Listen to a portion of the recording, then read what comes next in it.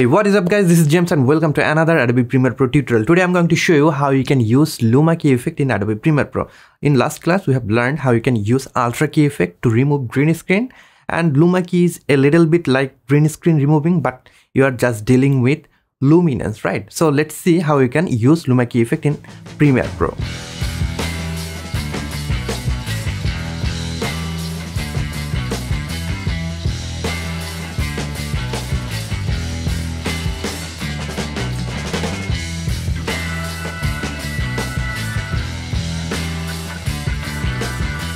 So here I have prepared some video to show you how you can use Luma key effect. The first one is how you can use a subscribe button if that subscribe button contains a black background. Usually when you are using this kind of lower third or buttons, then you have to use the essential graphics template. That is the practical way. But if you have a button that includes a black background, you have to use Luma key effect, right? So first you have to select that video, then you have to go to here, which is effects panel. If you don't see effects panel, then you have to go to here, which is window. And from here, you have to click on effects, right? Then you have to search for Luma key. Search for Luma key and then just apply this one, which is under the video effects keying folder. Then you will see Luma key effect, right? Click and drag this effect on top of your video, right? And then you will see the black background is vanished. So how that is happened? If I go here on this effects control panel, if you don't see, then go to Windows and then here on this effects control. Now, if you scroll down, you'll see Luma key effect have been applied. There are two difference value that you can adjust under Luma key effect. One is threshold and other one is cutoff, right?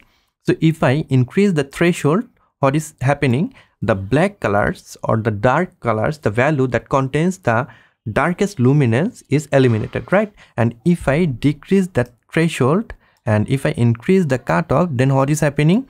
It is eliminating the lightest part of my video which is the white colors and others colors that contains higher luminance value right? So this is the two properties that you can adjust to edit whatever you want. So here i want to eliminate the black colors. What i have to do? I have to adjust the value of threshold. If i increase that then you will see the black colors is eliminating that's it. Now if I play it back, you'll see the subscribe button is pretty visible, right?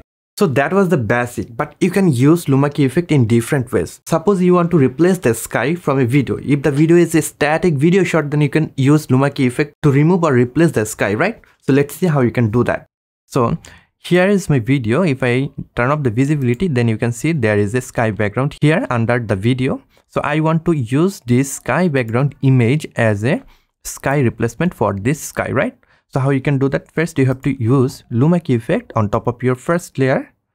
Then you will see the video is not behaving as we wanted, right? Because here on this video, there are a lot of colors value, right? There are a lot of luminance value of color. Suppose the sky color is very bright. Again, the reflection here on the water is very bright. So when you want to replace the sky from this video you have to make a mask so that you can use the luma color effect very easily. So first let's make a mask. If i select the video then if i go to here on this effects control panel i'll see there are three different options to make mask here on this video.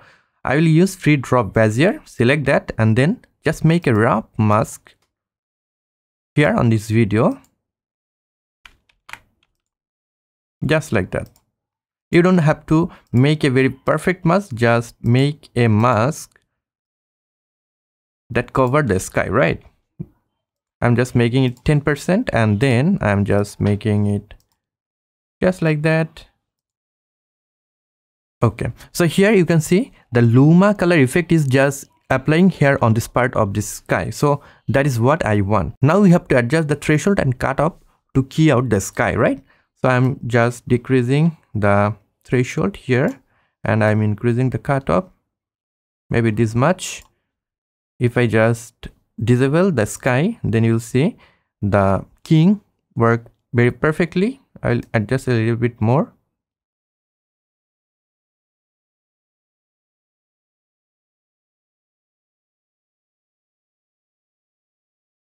Okay perfect. If I enable the sky now then you see the sky have been replaced right? You can adjust the mask feather from here to blend it more perfectly. If i increase the blend a little bit more.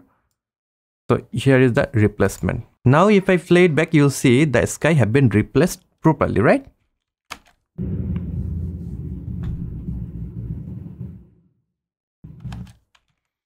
And the last one is you can use Luma key effect to make a transition. If you want to make Luma fade transition in Adobe Premiere Pro, then you can use Luma key effect, right? So let's see how you can use Luma key effect to make a Luma fade transition. So here is a video. This is a structure and I want to transition from this video to this video, right? So to make a Luma key transition or Luma fade transition, you need to overlap the clips with each other, right? So first you have to select the video and then you have to take the video on the second layer and then you can make overlap here. If you want to overlap the video maybe for 15 frames, then you can select the first video, then press shift and then alter option. Then you can press the right arrow key. It will take the video five frames ahead, right? Again, alt or option, then shift and then right arrow key again, again, right? Now the video is overlapping with each other for 15 frames. Select the top video and go to here on the effects panel.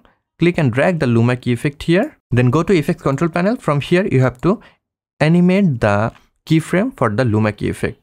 Just you have to decrease the threshold value of Luma key. Then make a keyframe here. Then keyframe here. Then go to at the end part of this video. Maybe here. Then you can increase the threshold and the cutoff below so that it can transition from that clip to this clip, right? Just like that. Now you can select the effects control panel. You can double click here to make the effects control panel bigger. And from here, you have to select the second two frame and click and drag it to take it at the end of the timeline, right? Just like that. Now right click and make it ease in. Select the first two keyframe and right click, then make it ease out. Now if you press tilde key or if you just double click here on the effects control panel, it will minimize just like that. If I play it back now, you'll see the video is transitioning between the first clip to second clip using a Luma fade effect, right? If I play it back, a great transition, right?